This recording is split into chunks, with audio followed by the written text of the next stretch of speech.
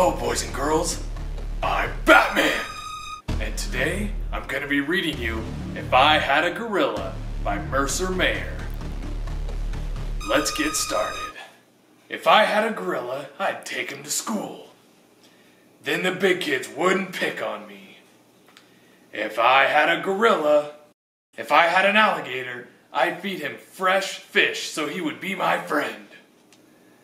Then the big kids wouldn't dunk me when I went swimming.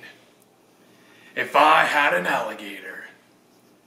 If I had a lion, he would stay with my puppy.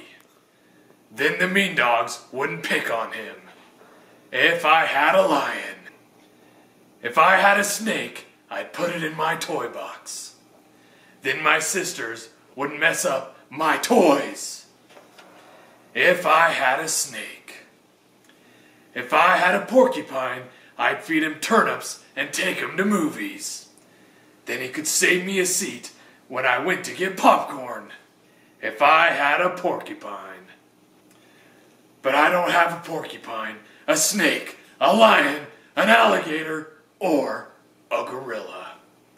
All I have is a big brother.